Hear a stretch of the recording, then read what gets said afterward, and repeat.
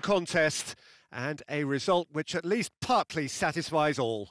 Your reflections then, Jim? Yeah, this looked the most likely outcome, but we've had a, a good variety in this game despite it being anticlimactic. And with that, it's time for me to thank Jim Beglin and to wish you a very good evening.